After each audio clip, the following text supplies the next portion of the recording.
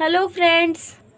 Welcome back to the new video. If you are the new viewer on my channel so firstly subscribe my channel and like the video. So today's video title is how to pair bluetooth headphone to your mobile phone samsung f23 5g so let us start our video. Firstly we will power on our bluetooth headphone here you will see its power is on. After that click on the setting icon.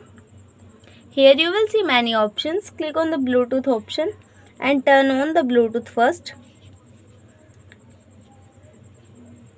Here you will see many paired device and check your bluetooth device name.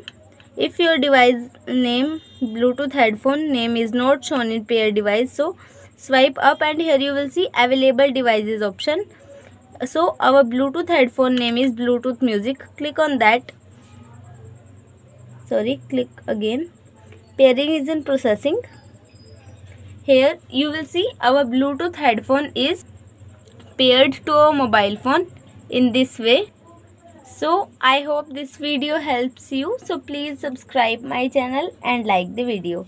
Thank you so much for watching our video